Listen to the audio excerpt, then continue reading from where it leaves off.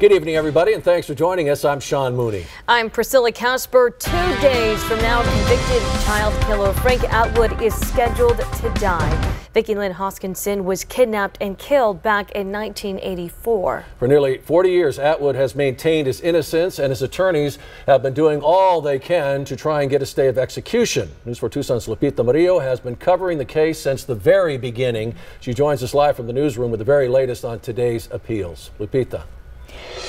It's been a roller coaster ride of emotions for the family of Vicki Lynn Hoskinson, and today is no exception. Every court hearing, they relive what happened to their daughter on September 17, 1984. The latest round of appeals is being considered in court at this hour, and we will bring you that decision as soon as it comes down. Meantime, a mystery surrounding the Hoskinson case still lingers in the desert where her remains were found the general area where Vicki's remains were recovered. Leo Duffner was a homicide detective in 1984. Gary Damers and I responded on day one uh, to begin the investigation of a kidnapping at the time.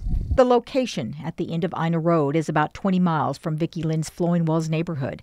Her abandoned pink bike was found just blocks from her family home. It was the bike she'd gotten for Christmas. Vicki was allowed to ride her bike alone that day for the very first time. She went to mail a birthday card to her aunt in New Mexico. Lori Myers still has that card. It's just really hard to share your birthday with something that was so violent to your family that actually has changed our lives forever, the way we raised our children. Investigators say Frank Jarvis Atwood intentionally struck Vicki Lynn with his car. Pink paint was found on the bumper of his vehicle when he was arrested in Texas days later. Atwood claims the paint was planted. Seven months later, a hiker found her remains. But months before that, Debbie Carlson had been drawn to the area. She talked about her mother's intuition in a 2006 interview. The further I got down here on Ina Road, I just, the emotions were stronger and stronger. And then I started hearing this voice, Mommy, I'm here.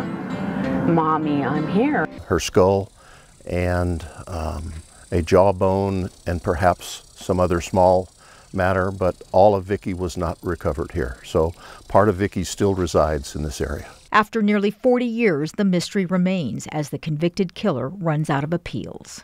It's aggravating and it's frustrating to those involved, but that's the way our system works. Um, um, but at the end, I'm sure his appeals will run out and he will ultimately be put to death by the state of Arizona. Atwood is scheduled to die by lethal injection on Wednesday, June 8th. Reporting live from the newsroom, Lupita Murillo, News 4 Tucson.